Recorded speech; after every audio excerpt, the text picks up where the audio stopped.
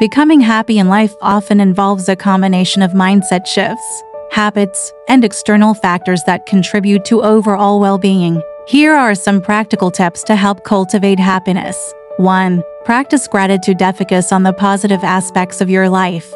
No matter how small, regularly reflecting on what you're grateful for can shift your mindset and improve your outlook too. Build strong relationships since time and nurturing meaningful relationships with family, friends, and your community. Social connections are key to emotional well-being and happiness.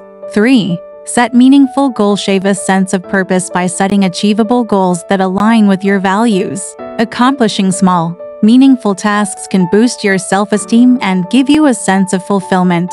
4.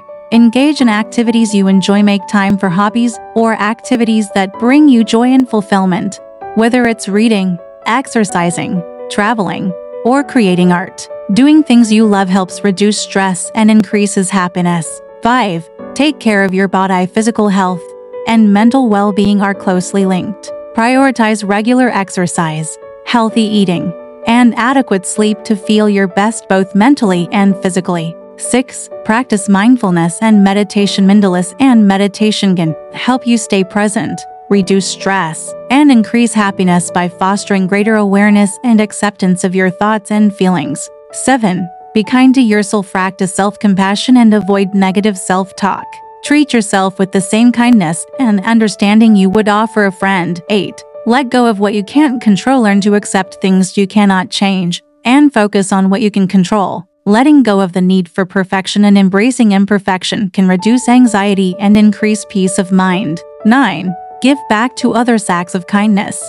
Volunteering or helping others can create a sense of purpose and fulfillment, as well as increase feelings of happiness. 10. Embrace change and adaptability. Life is full of unexpected twists and turns. Being open to change and resilient in the face of challenges can help you navigate life with a sense of positivity and adaptability. Remember, happiness is a journey, not a destination. Small, daily practices can build a strong foundation for lasting contentment.